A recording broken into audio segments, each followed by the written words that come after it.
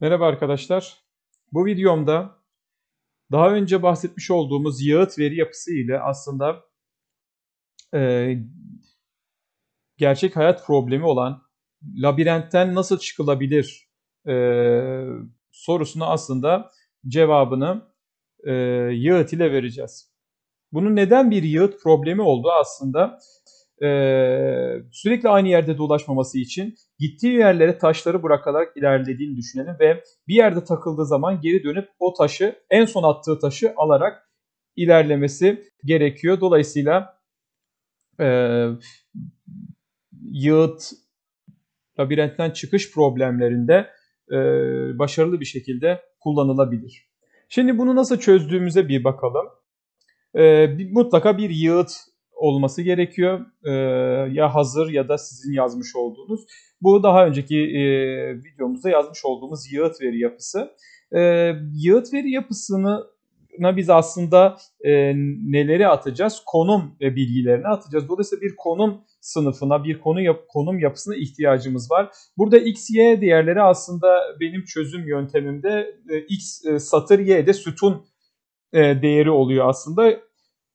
Yoksa normal koordinatta x, y tam tersi olması gerekir. Ama bu tamamen sizin referans aldığınız şeye bağlı. Burada ben satır ve sütun olarak bir referans aldığımdan söyleye referans aldığımı söyleyebilirim. Tabii hani daha okunaklı olmak için bir e, numaralandırma veriyorum. İşte aşağı, sol, yukarı ve sağ şeklinde ve dikkat ederseniz bu bakış yönüm aslında saat yönüne göre doğru. Yani a, aşağıdan saat yönüne ilerlerseniz sol, yukarı, sağ şeklinde e, bu ilerleyecektir ve burada bazı yardımcı fonksiyonlar var. E, işte verilen yönde aynı yönü yöne doğru ilerletmek için yani yukarı ise yukarı doğru konumu güncelliyor. Ona göre sağ ise sağa doğru e, konumu güncelleyecektir. Bir de saat yönünde ilerleme vardı. İşte yukarı ise sağa doğru, işte sağ ise aşağı doğru, aşağı ise sola doğru gibi e, saat yönüne doğru ilerliyor. E, ters yönde gitme ne demek aslında? Geldiğiniz yönde geri dönme. Bu en ne zaman olur? Üç tarafta da yol bulamazsanız yani bir duvara tosladınız e, diğer iki tarafa baktınız oralarda duvar o zaman mecbur geldiğiniz yöne doğru ters yön bu anlamda geldiğiniz yöne doğru geri dönmeniz gerekiyor. E, labirent kısmına bakalım. Labirentte tabii şu anki e, bizim yükseklik e, 20 ve genişlik 50'lik bir labirent bu. Buradaki mantık şu ben dosyadan okuyorum aslında. Ee, yani e, şöyle bir dosyadan e, labirenti okuyoruz. Ee, burada e, diyez işaretleri aslında ne oluyor? Duvar oluyor. boşluklarda geçebileceğimiz yerler oluyor. Bir giriş bir de çıkış olacak. Giriş en yukarıdaki duvardan, çıkışta en aşağıdaki duvardan gelecek şekilde ayarlıyoruz. Dolayısıyla bunu aslında labirent başlarken al, alıyor bizden. Yani bu konum e, konum bilgisi aslında buradan da bakacak olursak başlangıç ve bitiş konumu. Ve bunu e, bilgisayarın bulmasını sağlıyoruz. Yani başlangıç bu, bitiş bu şeklinde başlangıçtan girip bitişe doğru bir e, hareket yaparak bulmasını sağlıyoruz. Ve burada dikkat edeceğiniz üzere labirent nesnesi oluşturunca harita txt'yi okuyor ve okurken burada yığıtı da oluşturmuş oluyor. Yığıtın içerisine ne atıyor? Konum bilgisini. Çünkü bir yere taş atmak ne demek ilerlerken? Orada o taşın bilgisi nedir? Konum bilgisidir aslında. Ve ilk başlangıç noktası yani eksi bir eksi bir aslında biz e, labirente girdiğimizi işaret etmek için e, hiç gelmeyecek bir konumu aslında bir işaret olarak bırakıyoruz. Yani başlandığımız kısım burası diye ve bu şekilde e, e geçtiğimiz noktaları yığıta e, ata ata ilerleyeceğiz. Tabi burada e, karakterlerin ASCII karşılıkları var.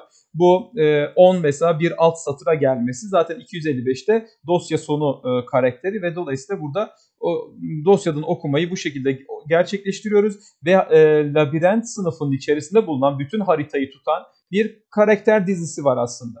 Burada e, şunun aynısını ekrana basabilmek için diyez boşluk şeklinde e, olduğunu söyleyebiliriz ve e, işte mevcut konumun döndürüldüğü. Burada aslında bizim kullandığımız iki tane önemli metot var. Nedir bu? Adım at. Mevcut konumu ileri konum burası adım at. Ama bu ne yapıyor? Eğer engel varsa orada Dolayısıyla if'in içerisine giremiyor ve false döndürüyor. Engel var mı da tabii diyeze bakıyor. Bir de diğer bir şey e, bu çizgiyi ben e, aslında işaret koymak adına verdim. Yani yığıta da aynı zamanda gittiğimiz noktayı e, koyuyoruz ama bunu aynı zamanda harita üzerinde de ben e, hani gerçek anlamda orada taş görünmesi açısından oraya koyuyorum. Tabii ki normalde çalıştırırken onu göstermiyorum çiz, çizgiyi. E, göster, yani normal çalışma aşamasında göstermeyeceğiz aslında. Ama dolayısıyla benim için aslında engel nedir? Diyez işareti ve çizgi işareti benim için engeldir. Diğer türlü boşluk demektir ve ilerleyebilirim anlamına geliyor. Engel var mı? Bunlara bak. Tabii ki bir de dışına çıkmamış olması lazım yani.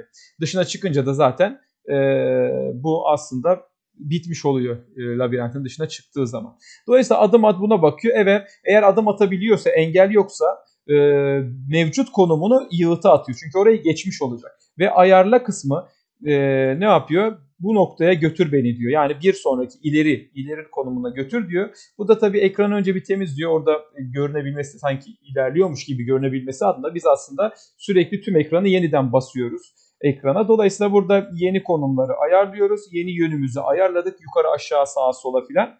Ve haritada geçmiş olduğumuz o konumu e, çizgiyle işaretlemiş oluyoruz. Ve ekrana bunu yazıyoruz. Burada tabii e, titreme çok olmaması adına ekranda sürekli e, şey. Burada bir beklemekte fayda var. Bir 30 milisaniye orada bir durduruyorum ki hani bir e, nereden gittiği falan daha net görünebilsin aslında. Yaz kısmı da normal e, ekrana harita dizisinin içeriğini yazıyor. Sadece çizgi varsa çizgi yazmamak adına oraya boşluk bırakıyoruz. Ee, yani istenirse de hani nerelere taş bıraktığını görebilmek adına bu satır silinerek e, ekrana taşların bırakıldığı noktalarda yazdırılabilir. Test kısmında ne yaptık? Labirent nesnemizi oluşturuyoruz ve ona başlangıç noktasını ve bitiş noktasını veriyorum ve labirentin çözmesini istiyorum. Başlangıç noktası ve bitiş noktası.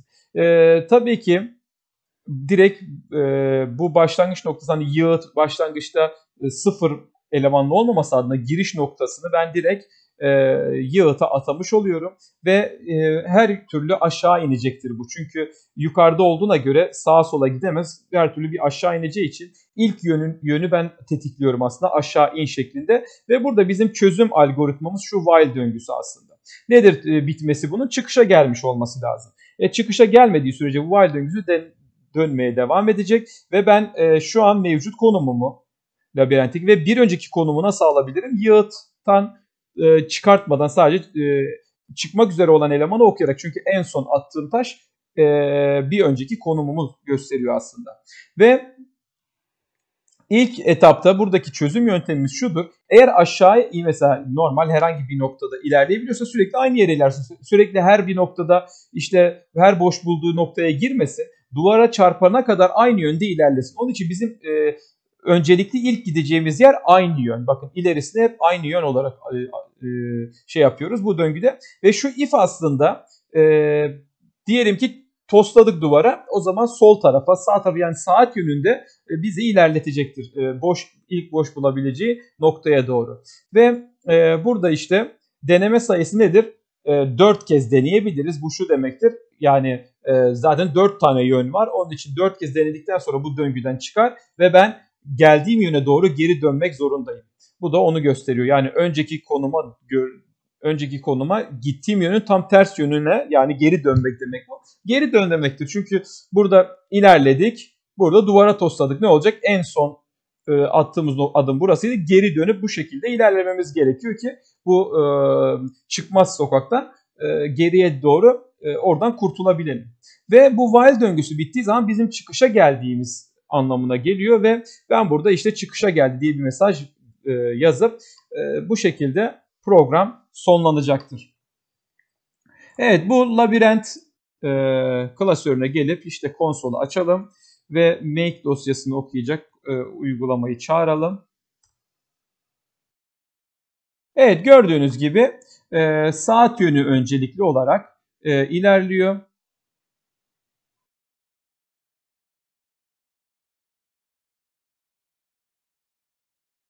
Bu e, yönünü de aslında e, sol sağ yönünü de e, bunların ASCII karşılığını e, şey yaparak yazdırdık. E, hangi e, yön olduğunu belli belli etmek adına. Çünkü şurada baktığınız zaman